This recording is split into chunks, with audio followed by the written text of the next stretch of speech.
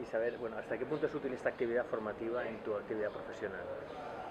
Pues esta actividad eh, incorpora una metodología nueva y como ya hemos participado más de una vez en proyectos en los que hay formación para diferentes actores, esta lo que nos enseña es otra manera de trabajar y nos ayuda a incorporar eh, dinámicas, eh, música, nuevas tecnologías y también un enfoque con sentido del humor, o sea que realmente nos cambia bastante las normas y además estamos incorporándolo a cualquier otro trabajo que hacemos, esa formación. ¿Y cómo vas a compartir con tus colegas lo que has aprendido en esta actividad? Pues bueno, lo primero, los materiales que hemos recibido entre todos los formadores europeos nos los estamos intercambiando con añadiendo fotos a las presentaciones incorporando cada, para cada seminario una novedad. Nos estamos dando recomendaciones, pero luego a nivel de mi organización estamos eh, transmitiendo un poco la expectativa inicial. Cuando volvamos contaremos el resultado, pero sobre todo vamos a, incorporar en los hábitos de formación este tipo de, metodologías. Creo que va a ser bastante útil mm, todo lo que estamos recibiendo.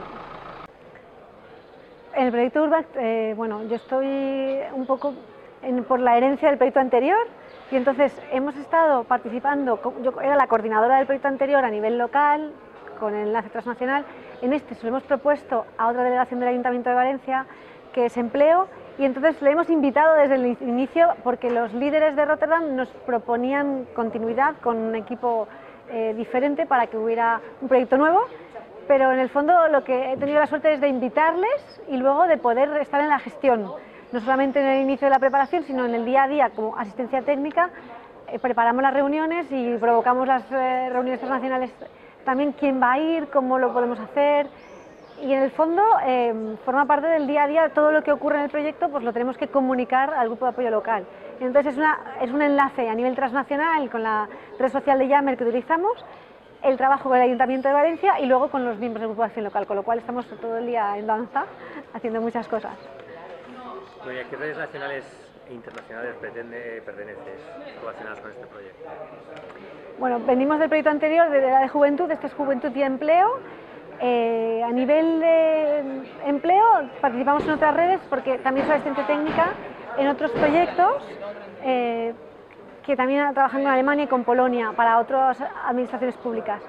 Y para el Foro de Agencias de Desarrollo Regional, estamos en red no solamente con España, sino también con Sudamérica. Estamos trabajando en Cartagena de Indias y en Chile. Y sobre todo a nivel de emprendimiento y de sistemas de innovación regional.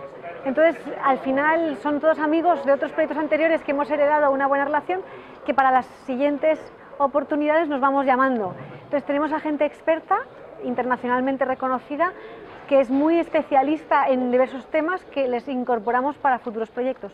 Con lo cual, siempre es una, red de, ofrecer oportunidades y recibir también invitaciones. O sea que sí, en muchos. Un más atrás, ¿Y qué esperas de esta actividad formativa?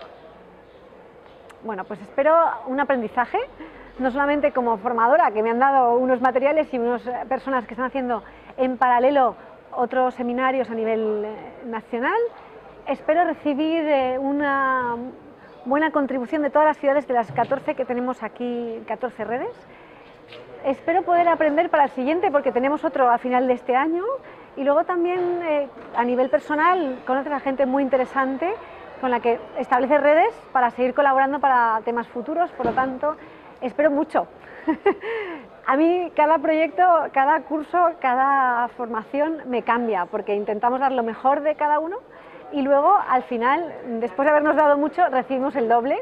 Por lo tanto, mm, tengo unas grandes expectativas, pero de momento parece que se están cumpliendo.